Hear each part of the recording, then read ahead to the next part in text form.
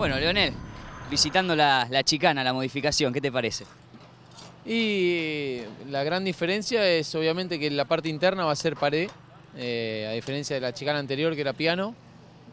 Y bueno, eh, bastante más lenta, ¿no? Que con una entrada más pronunciada que el año pasado. Eh, así que bueno, ojalá que se genere un lugar de sobrepaso, pero por lo que veo es como que se angosta acá, en el final de la, de la chicana. Y tendría, tendríamos que buscar que sea al revés, que se, que se haga más ancha el frenaje, ¿no? Para poder tirarte, ¿no? Claro, exactamente. La modificación más principal es el interno, el paredón, directamente, no hay más pianito. Claro, sí, eso nos está llamando un poco la atención. Estamos pensando por ahí decirle al Pato Mesa para poner unos reductores, algo para tener un poco de referencia. Este, aparte está muy, no, no está redondo. eh, y bueno, este, estamos analizando junto a mis compañeros, los ingenieros, viendo, viendo todas las, las terminaciones. Lo que vemos, a primera vista es que se cierra un poco acá a la hora de frenar y supuestamente iba a ser un lugar de sobrepaso y, y lo veo muy difícil, ¿no? Y además de esto va a tener eh, de condimento especial esta chicana que si nos pasamos eh, es más 5 segundos. Así que espero que por lo menos eh, el lugar de la vía de escape sea lento porque veo que si seguís a fondo la chicana ganás bastante terreno. Así que veremos qué pasa y cómo termina, ¿no? Se ha mejorado el tema de vías de escape eh, y para los comisarios deportivos ha quedado mejor para fiscalizar, producto de que la curva hacia la derecha de la chicana, eh, ahora hay muro, o sea que no hay que tocar un cono, no tocar un cono, tocaste el muro y quedaste fuera de carrera.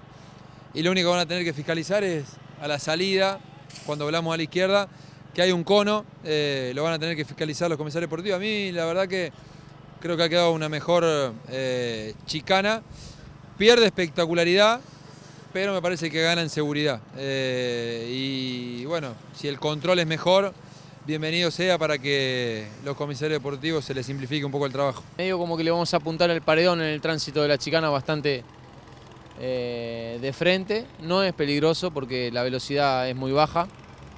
Y ojalá que, bueno, si no hay sobrepaso en este sector, que por lo menos permita sacar al auto adelante más cerquita a la última curva y por ende, bueno, hacer una maniobra ahí en la última curva que te lleve a una posibilidad de sobrepaso aún más clara que el año pasado en el frenaje de la 1.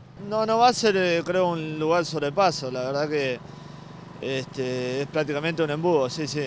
Eh, lo que va a permitir es, por ahí ya un poco más lento la curva sea recta, va a cambiar todo. Eh, este, así que bueno, vamos a ver cómo queda ahora terminado. Se angosta acá, el paredón este se, se viene para acá, el paredón de interno, se, se viene hacia, hacia el piloto. Entonces hace que se angoste bastante el ingreso. Acabo de, acabamos de llegar con él y viendo esto, nada, bueno, me parece que la idea de lo que se pretendía a la práctica está un poquito difícil, que se, se pretendía hacer una curva amplia para que uno gane radio y se intente pasar por adentro. En este caso la veo bastante complicado, eh, pero bueno, a su vez es una chicana más lenta, lo cual determinaría que, que lleguemos más juntos a la curva 1, con lo cual en la curva 1 sí sería un, un sobrepaso un poco más franco. ¿Los reductores servirían como también referencia para saber que se viene la chicana en cuántos metros? Sí, este, más que nada eh, es una sensación que vos tenés desde, desde arriba del auto, eh, a qué tan cerca estás de- del paredón. Y seguramente ahora si llegan a hacer algo así acá sería importante porque si no, este, el que más cerca le pasa la pared, la, la pared va a ir más rápido y bueno, el límite va a ser cuando comienza a raspar el montón.